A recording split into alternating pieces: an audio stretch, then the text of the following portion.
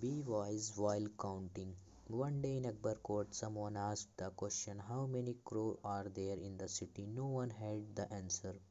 Birbal quickly replied, 4312. He was asked, How did he know this?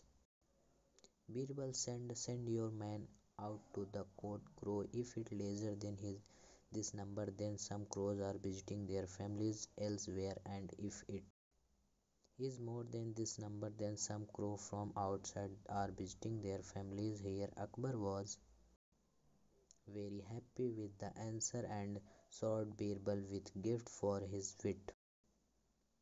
Moral of the story Sometimes you have to learn to think outside of the box.